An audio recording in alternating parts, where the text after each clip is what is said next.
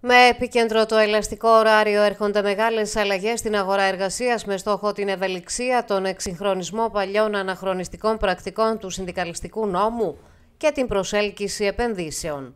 Όπως ανέφερε ο Πρωθυπουργός Κυριάκος Μητσοτάκης με το νομοσχέδιο αυτό, η κυβέρνηση κοιτάζει στα μάτια την πραγματικότητα και φέρνει ύστερα από τέσσερις δεκαετίες τα ευρωπαϊκά δεδομένα για τον Έλληνα εργαζόμενο, ενώ τόνισε ότι με την διαβούλευση θα διαλυθούν οι μύθοι, όπως αυτοί που καλλιεργούνται περί οκτάωρου. Που ύστερα από 40 χρόνια φέρνει επιτέλους και τα ευρωπαϊκά δεδομένα για τον Έλληνα εργαζόμενο. Τι προβλέπει, την προστατεύει, τον προστατεύει από καταχρήσεις των εργοδοτών σχετικά με απλήρωτες υπερορίες ή αδήλωτη εργασία, καθώς την ψηφιακή του κάρτα θα δηλώνει πια ο ίδιος το πόσο δούλεψε.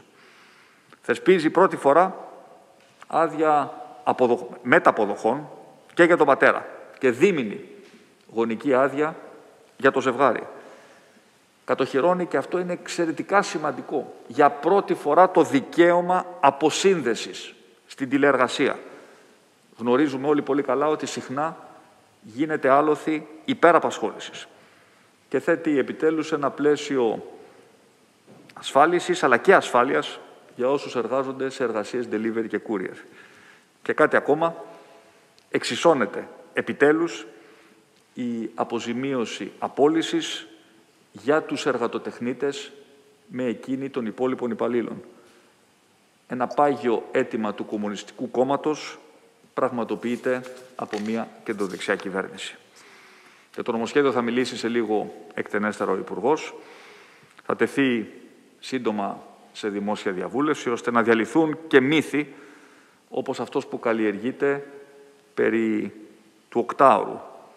Λοιπόν, λίγες κουβέντες και καλές. Το οκτάωρο παραμένει κατοχυρωμένο ως έχει. Εκείνο που προστίθεται είναι το δικαίωμα του εργαζόμενου να ζητήσει ο ίδιος σε συνεννόηση με τον εργοδότη του να εργαστεί πιο πολύ για ένα διάστημα, κερδίζοντας σε άδεια σε μια εποχή που θα το επιλέξει ο ίδιος. Τόσο απλά, τόσο λειτουργικά. Σε ό,τι αφορά τα μέτρα που αφορούν τους εργαζομένους και που προωθούνται μέσα από το νέο εργατικό νομοσχέδιο, αυτά αφορούν στην έκδοση ψηφιακής κάρτας εργασίας, αυτόματη καταγραφή υπεροριών, αντιμετώπιση της βίας και της παρενόχλησης στην εργασία, ισορροπία επαγγελματικής και οικογενειακής ζωής, άδεια πατρότητας, γονική άδεια 4 μηνών με δίμηνη επιδότηση από τον ΟΑΕΔ, άδεια φροντιστή, δυνατότητα για ευέλικτο ωράριο και άλλα. Τηλεργασία, δικαίωμα αποσύνδεσης και εξοπλισμός. Αύξηση της αποζημίωσης απόλυσης για τους εργατοτεχνίτες, εξίσωση με τους υπαλλήλους ρύθμιση για πρώτη φορά με συνδικαλιστικά δικαιώματα μέτρα για πρόνοια, υγιεινή και ασφάλεια.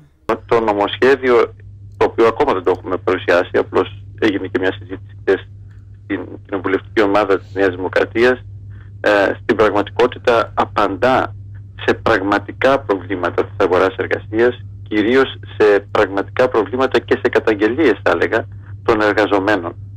Και ε, εγώ, αν με αφήσετε να αξιολογήσω και μου πείτε ποια είναι η πιο σημαντική διάταξη του νομοσχεδίου αυτού, εγώ θα έλεγα ότι είναι η ψηφιακή κάρτα εργασίας με την οποία μπορείς, είναι ένας μηχανισμός ηλεκτρονικός με τον οποίο ο ίδιος ο εργαζόμενος μπορεί να έχει όλες τις εγγυήσεις για την τήρηση του ωραρίου του, του 8 ώρου δηλαδή, ε, για την ε, εξασφάλιση ότι θα καταγράφονται και θα πληρώνονται οι υπερορίες του ε, ότι δεν θα υπάρχει μαύρη εργασία και αυτός θα είναι ένας μηχανισμός ο οποίος θα προστατεύει και τους έντιμους εργοδότες απέναντι σε άλλους που κάνουν κόλπα και δεν δηλώνουν τις υπερορίες ενώ τις δουλεύουν οι εργαζόμενοι ε, και βέβαια την ίδια στιγμή όλο αυτό θα είναι ένας αυτόματος μηχανισμός όπως είπα τον, τον οποίο θα, θα υποπτεύει το ίδιο το Υπουργείο Εργασίας.